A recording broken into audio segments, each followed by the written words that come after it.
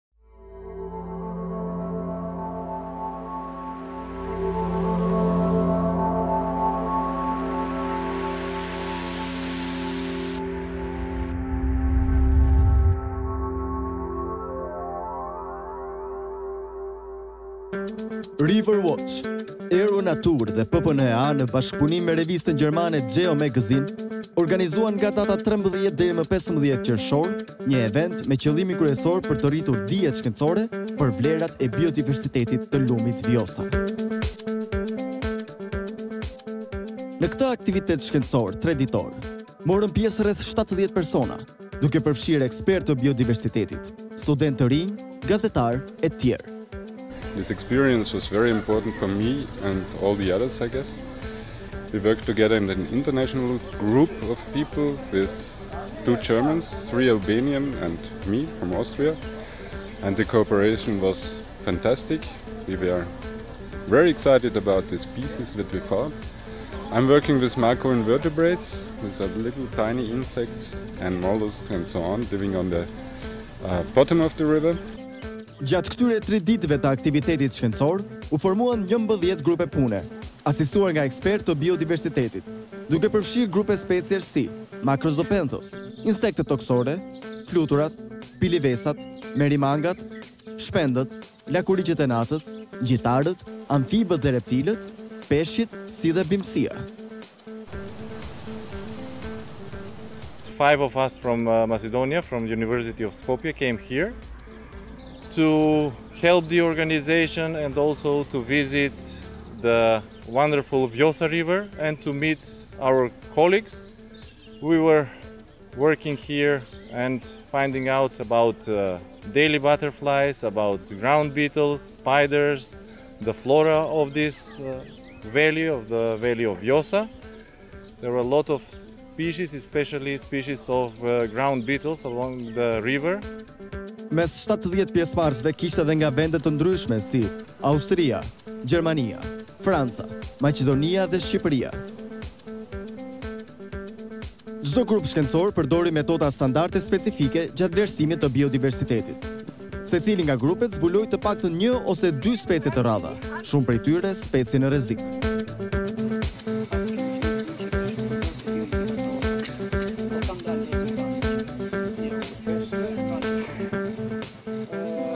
We found some very interesting species. Many of them are living at the shore, at the riparian site. which we miss in Central Europe, and therefore these species indicate a very healthy ecosystem. That uh, a lot of uh, specialized species has been found.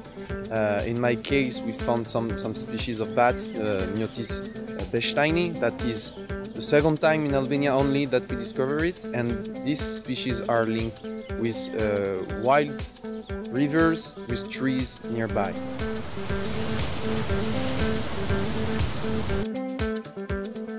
Sipas rezultateve të këtij vlerësimi paraprak të biodiversitetit në Luginën e Vjosës, ky ekosistem ka kaq shumë për të thënë dhe për të treguar vlerat e tij natyrore dhe biologjike. Rezultatet e kësaj kanë qenë shumë mbresëlënëse, rreth katërqind lloje të identifikuara vetëm nga njëmbëdhjetë grupe pune.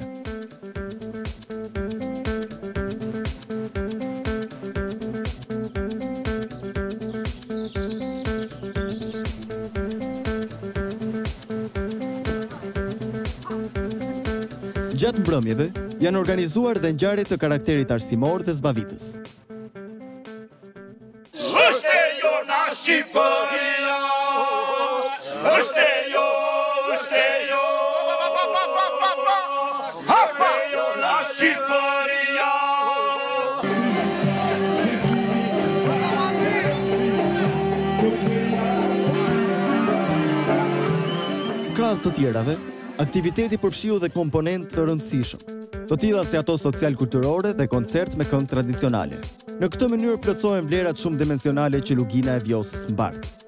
Në anën tjetër, gjatë mbrëmjes u mbajtën prezantime nga ana e organizatorëve, të cilat theksuan këto vlera të veçanta, si dhe strategjinë që është duke u ndjekur në fushatë. 30% of all the rivers, so that means more than 10,000 kilometers, are in a natural state. Një ngjarje e veçantë ishte ekspozita fotografike e biodiversitetit shqiptar, e cila paraqiti një interes të madh për të gjithë pjesëmarrësit, por veçanërisht për ata që ishin për herë të parë në rajonin e Vjosës. Atëherë nga gjithë ky aktivitet treditor që ne zhvilluam përgjatë gjithë lumit të Vjosës, pritet të hartohet një raport i mirëfilltë shkencor i cili do të publikohet në formën e reportazhit në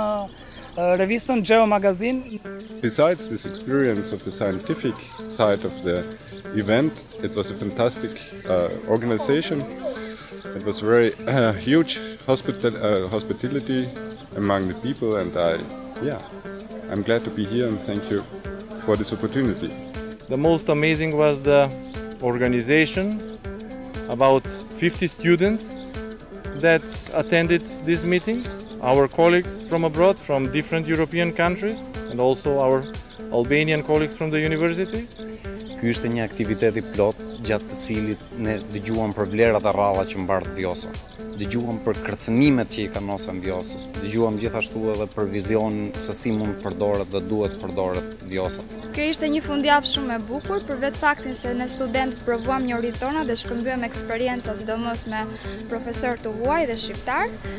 The Vjosa means something, something important for all these people and at the European level. So that was really a great experience and uh, we hope that it will be one of the, the first activities and uh, that at the end we can do that during, I don't know, one centuries because the Vjosa will still be a wild river. That will be